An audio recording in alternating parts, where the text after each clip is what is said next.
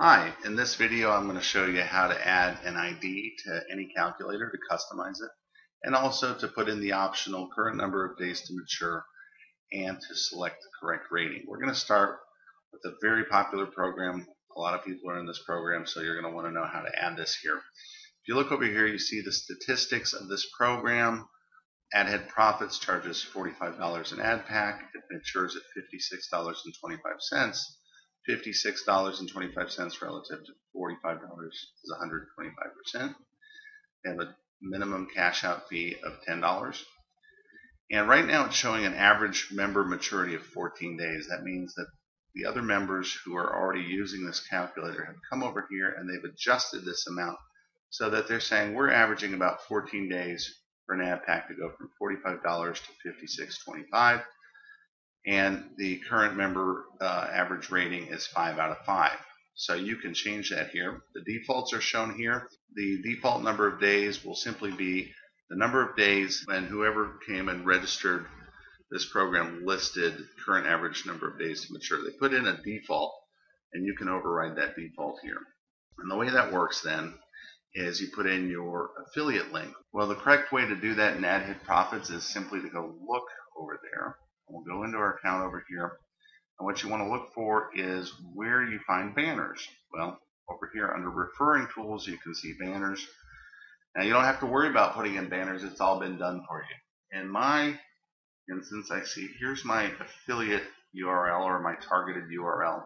Really, this is my affiliate link. If I copy and paste this and send it to a friend, they will join under me. But what we want to do is simply grab the affiliate ID or the username. So I go over here, copy, and then I go back over here and hit paste.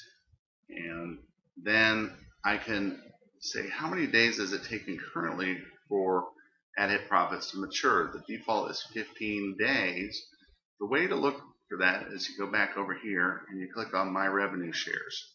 Now, I've missed a few days of clicking, but the best way to do it is to go to your oldest ad share the one that's closest to maturing, and I can see one that's not quite 56.25, but it's getting there. I bought this on the 14th of June. Today is July 1st. So that's about 15 days, and I can say, well, at the rate things are going, it might take, let's just be conservative and say 20 days. So we go here, put in 20 days, I like the program a lot, so I'm going to call it a 5 out of 5, and then I hit submit. Now, after I've submitted my personal information, I see, aha, here is my calculator link. Notice that just appeared here. So I can go here, and if I click on this link, my affiliate information should be embedded on this calculator, and it should redirect to my correct referral link for AdHit Profits. So let's test that out. You want to test both of these links, and the first one over here shows me my calculator. There's the banner, the 728 banner. There's the AdHit Profits calculator. It has my business name listed here and some defaults. So I can play with the calculator. But what I want to make sure is that if I click this banner and if I run my mouse over it, you can see in the bottom left corner, it's going to the correct affiliate link. Also, the Get Started Today will go to the correct affiliate link. And in the disclaimer up here, it also has a link to AdHit Profits, which includes my affiliate link. Fantastic. Everything is working great.